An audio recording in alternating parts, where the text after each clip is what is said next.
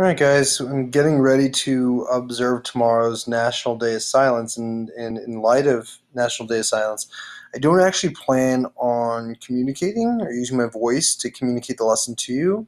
So I'm making these videos now, uh, uh, kind of going through the angle relationships uh, in 10.8 right now, so that you guys have a video to watch tomorrow if you haven't already kind of read through this, and um, and then we can just kind of get started with the exercises right away. So, in short, today we are this this section cover is the last section of the chapter ten, and um, we have essentially three different types of angles to analyze. Three different types of angles, and I'll be re revisiting these three angles as as we go through go through here. And the first sort of angle situation that that we're going to need to solve for is one like this down here. Now, the exercise asks us to solve for this angle right here, x. And the first thing that we got to notice right away is this angle x is not a central angle. The vertex of the angle is not at the center of the circle. It's not a central angle. So x does not equal 70. The second thing we have to notice is that the vertex isn't on the circumference of the circle. It's not an inscribed angle. So x is not 35. It's not half a 70. It's something completely different. And so we need to kind of go through here and do some work to figure out exactly what x could be. And the hint, the secret to this to this particular diagram in terms of the proof is by augmenting the diagram. Drawing this chord right like this. What does that do for us?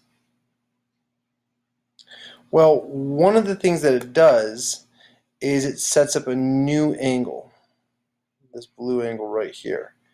You can see that this blue angle cuts out this arc, which is 70 degrees. So since this angle that we've now drawn in cuts out 70 degrees it's an inscribed angle, we know this angle must be, I'm going to get a little smaller with my pen, it must be. I'm actually going to bolt, zoom in here a little bit, even more. It must be 35 degrees, right? Half of 70. It's an inscribed angle. Well, the other thing you guys might notice is that this drawing, this auxiliary line, creates a second angle right here. And this second angle cuts out this arc, the 80 degree arc, meaning that this angle is 40 degrees, half of 80. And now let's return again by drawing that line, by augmenting the diagram with this line right here, what we've done is created a triangle with angles 35, 40. So now we can do a little math in order to figure out this angle right here. 180 minus 40 minus 35. Let's see here, that's 140. So 140 minus 35 is 105.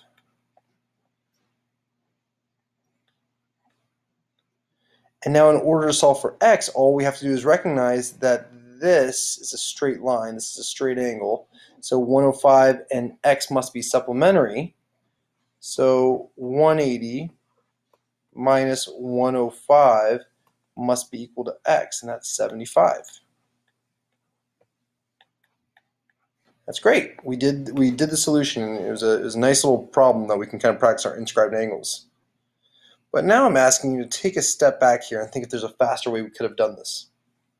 And notice, do you see any relationship between what x ended up being 75 degrees and 80 and 70? Think about it for a second. If you think hard enough, you'd recognize that 75 is equal to half 80 plus 70. Take a look. 80 and 70 is 150, and then half of that is 75. And sure enough, that is a that's a uh, let's see, scroll back out here. That's a that's a property now that we can identify. That's that's true of any angles of this case. Any angles of this case, this angle right here will be 1 half x and y. But I need to be very, very clear, very, very specific about what case that we're talking about. And I'm going to write it very shortly like this. It's the case where the vertex of the angle that we're looking for is inside. Is inside the circle. See how the angle lies inside the circle? And I'll say the vertex of the angle. The vertex is inside the circle. There it is. There's our vertex inside the circle. And when that's the case, what we're doing with these two angles, 80 and 70, is that we are adding them together and taking half. And taking half of them. So that's when the vertex is inside the circle. Oh yeah, by the way, I don't know if I mentioned I've got my three month old here next to me. So if I have to pause here in a few minutes because she gets finicky, I'll, I'll, I'll just do that. I'll, I'll make a quick pause. You might hear in the background giggling like she's doing right now. Okay, so the second property, this this the second the second the second idea. Um, hold on one second. Okay, back again. Now, the second kind of angle that we're going to be looking at is one like in this diagram right here. I'll, I'll, I'll zoom in on it. And what do you guys notice about this angle? Well, in contrast to the first, you might notice that the angle y, the vertex for angle, angle y, lies outside the circle. The last one, this vertex was inside, and now it's outside. Let's see if we can figure out kind of a property for figuring out what y is uh, pretty pretty efficiently. And again, there's always some secret. There's always a secret, and with this secret, with this uh, particular diagram, the secret again is augmenting the diagram, like so. And again, just like we did in the first case, looking for new inscribed angles. And then using this resulting triangle solve.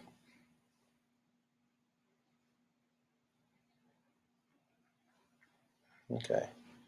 I think it's worth noting here that 30 degrees is the degree measure of this chord. It's not that angle.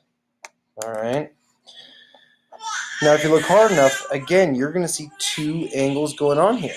We've created by drawing this augmented by augmenting the diagram with this line. We've draw we've we've identified two new angles. Here's one of them. Again, this angle is inscribed in the circle. So in making this line, this blue, this, this line right here, augmenting our diagram, we've drawn a new inscribed angle, and it cuts out this arc right here. So if this arc is 100 degrees, then the inscribed angle is 50.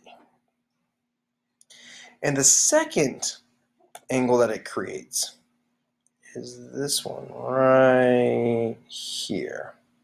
Another inscribed angle. And you can see that the angle, that the arc that this angle cuts out is this arc right here that has a degree of 30, which means that this little angle down in here must be half of 30, which is 15.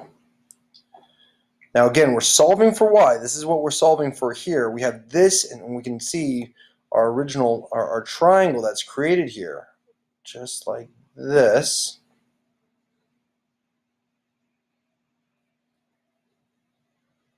So we have this triangle. We know that this is 15 degrees we know that this right here is 50, and we can use that information that that's 50 degrees. Here, let me wipe out the 30 real quickly.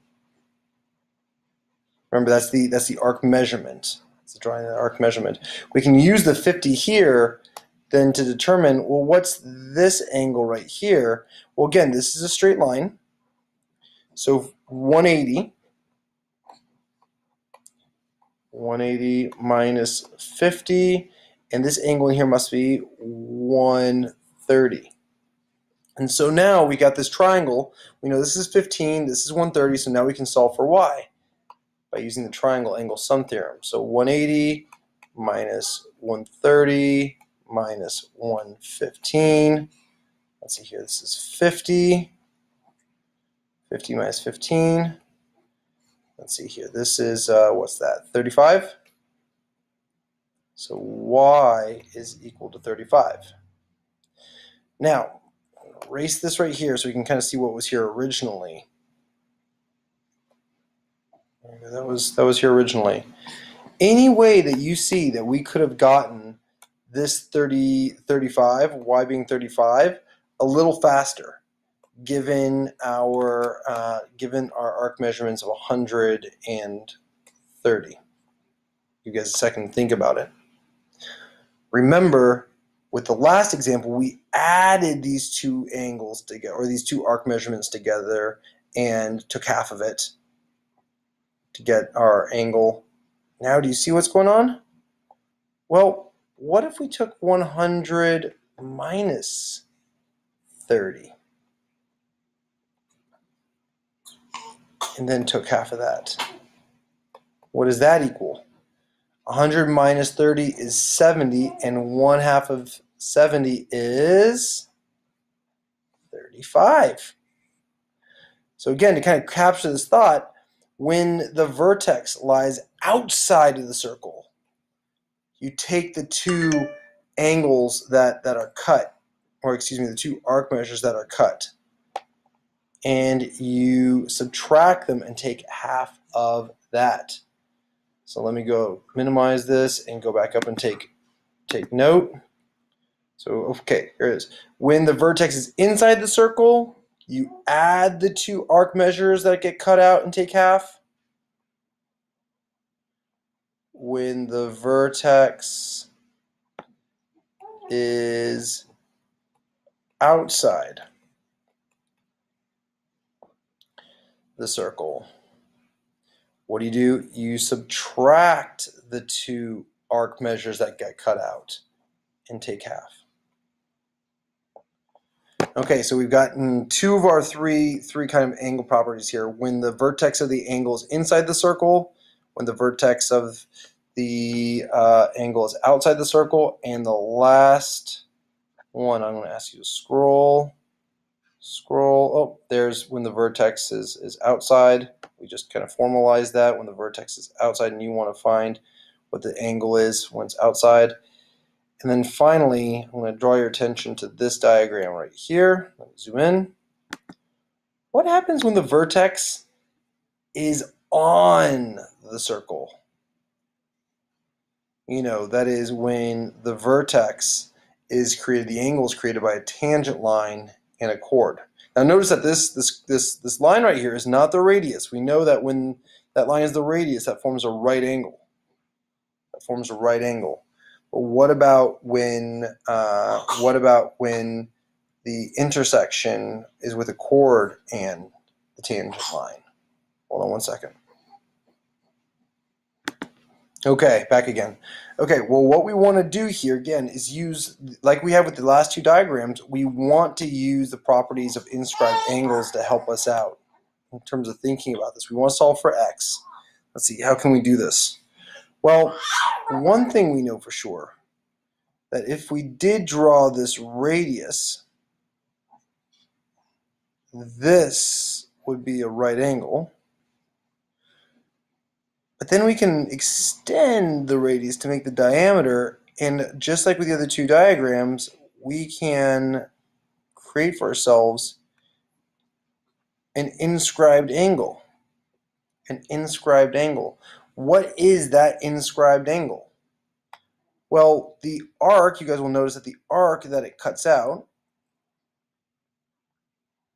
has a measure of 110 degrees. So that inscribed angle must be half of uh, 110. which is 55. So that's 55 degrees. Okay, great. All right, let's see here. How else can we approach this then? Well, let's see. Um, we know we have a triangle with one of the sides of the diameter, which means that we have a second inscribed angle, this one right here.